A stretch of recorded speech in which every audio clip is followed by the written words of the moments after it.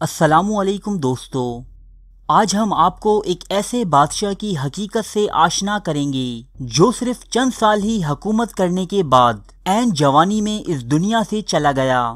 لیکن اس بادشاہ نے دنیا پر اپنی شخصیت کے اتنے گہرے نکوش چھوڑے ہیں کہ انہیں اب شاید کبھی مٹایا نہیں جا سکے۔ آپ میں سے بہت سے لوگوں کے لیے یہ بات حیرت انگیز ہوگی کہ سولہ سو اکیاون عیسوی حضرت عثمان غنی رضی اللہ تعالی عنہ کے دور میں ایران کی فتح مکمل ہونے سے لے کر سن پندرہ سو دس عیسوی تک یعنی تقریباً ساڑھے آٹھ سو سال تک، ایران ایک سنی اکثریتی ملک تھا۔ شیعہ موجود تھے مگر ان کی تعداد بہت کم تھی۔ اور پھر چودہ سو ستاسی عیسوی میں شاہ اسماعیل صفوی پیدا ہوا۔ اس کے خاندان کا تعلق صفوی نامی ایک صوفی سلسلے سے تھا۔ ان کے والد شیخ حیدر ایک صوفی تھے جو اردبیل نامی شہر میں رہا کرتے، جبکہ شاہ اسماعیل کی والدہ یعنی مارتھا کا تعلق جارجیا کے شاہی خاندان سے تھا۔ شاہ اسماعیل صفوی اس صوفی سلسلے کے آخری پیر ثابت ہوئے، کیونکہ انہوں نے اپنی پیری کو بادشاہت کا رنگ دے دیا اور بنیاد رکھی صفوی سلطنت کی، جس کا شمار دنیا کی بڑی اور اہم سلطنتوں میں ہوتا ہے۔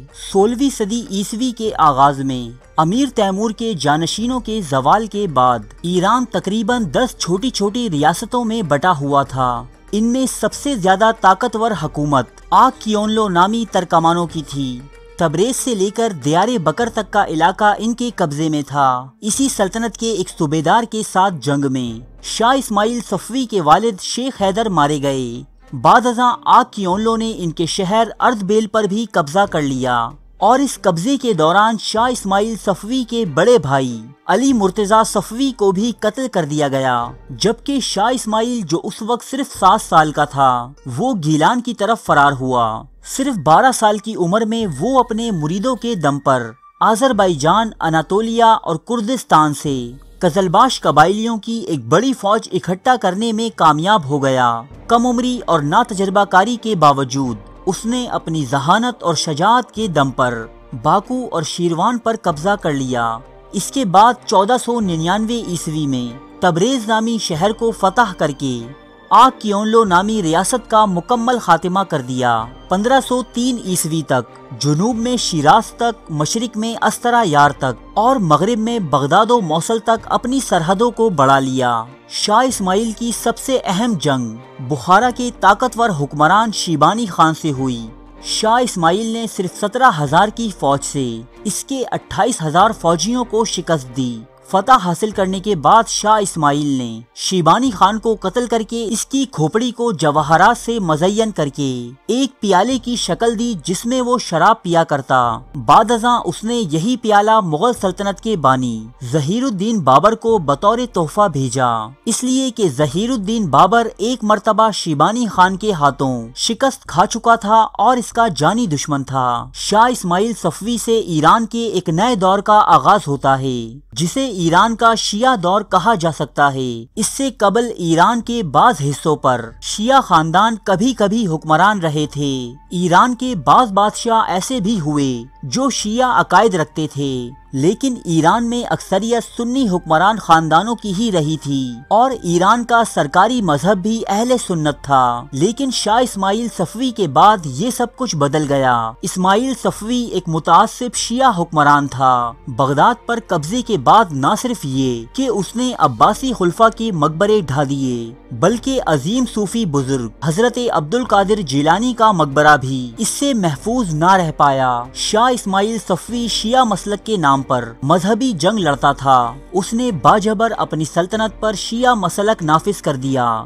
اس کے ساتھ ساتھ اس نے اپنے دور حکومت میں صحابہ کرام رضی اللہ تعالی عنہم پر تبرہ کرنا بھی شروع کر دیا۔ شاہ اسماعیل صفوی نے سنیوں کو شدید جبر و تشدد کا نشانہ بناتے ہوئے دو آپشن دیے۔ یا تو شیعہ ہو جاؤ یا پھر فوت ہو جاؤ۔ اس نے نہ صرف شیعت کو سرکاری مذہب قرار دیا، بلکہ شیعت کو پھیلانے میں تشدد اور بدترین تعصب کا بھی ثبوت دیا۔ دوستو، یہاں ہم کسی مسلک کی برائی یا کسی مسلک کی معصومیت انسانیت بیان نہیں کر رہے، بلکہ یہاں بات شاہ اسماعیل صفوی کے ذاتی کرتوتوں کی ہو رہی ہے۔ شاہ اسماعیل کے اس اقدام کی مخالفت خود اس دور کے شیعہ علماء نے بھی کی تھی، لیکن اس نے اپنے عقیدے کی محبت اور کچھ جوش فتوحات میں سنیوں سمیت کئی ایسے شیعہ علماء بھی قتل کیے۔ جو اس کے راستے میں آئے، اس خونی کھیل میں لاکھوں افراد موت کے گھاٹ اتار دیے گئے۔ ہزاروں لوگوں نے ایران کو چھوڑ دیا، جبکہ اکثریت نے شاہ اسماعیل کی بات مانتے ہوئے شیعہ مسلک قبول کر لیا۔ ایران میں اپنی حیبت قائم کرنے کے بعد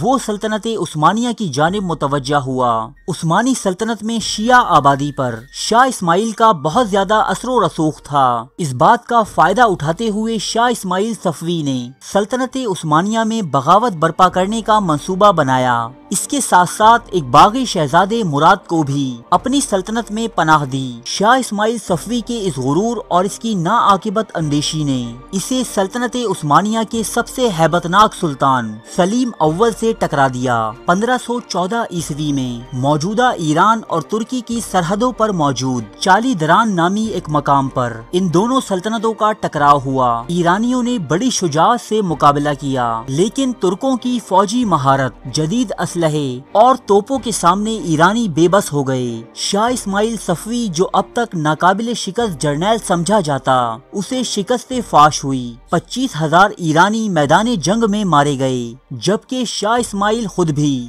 زخمی ہو کر میدان جنگ سے فرار ہوا۔ اس جنگ کے نتیجے میں تبریز، دیار بکر اور دوسرے کئی صوبے سلطنت عثمانیہ کے پاس چلے گئے۔ شاہ اسماعیل صفوی اس شکست سے ایسا مغموم ہوا کہ جنگ چالیدران کے بعد اس نے جنگ و جدل میں دلچسپی لینا چھوڑ دی اور خود کو مکمل طور پر شراب میں ڈبو دیا۔ اس جنگ کے چند سال بعد ہی، پندرہ سو چوبیس عیسوی میں، محض چھتیس سال کی عمر میں یہ موت کا شکار ہوا۔ کہا جاتا ہے کہ اگر چالی دران کی جنگ میں عثمانیوں کو شکست ہو جاتی، تو شاہ اسماعیل صفوی ایک فاتح کے طور پر امیر تیمور سے بھی بڑا نام ہوتا۔ اور نہ صرف یہ کہ ایران بلکہ پورا مشرق وسطی، آج شیعہ مسلک کا پیروکار ہوتا۔ شاہ اسماعیل صفوی کے بعد اس کی قائم کردہ صفوی سلطنت مزید دو صدیاں قائم رہی اور اس عرصے میں یہ سلطنت اکثر یورپی طاقتوں کے ساتھ مل کر سلطنت عثمانیہ کو نقصان پہنچاتی رہی، جبکہ مشرق میں مغل سلطنت سے بھی برسرے پیکار رہی۔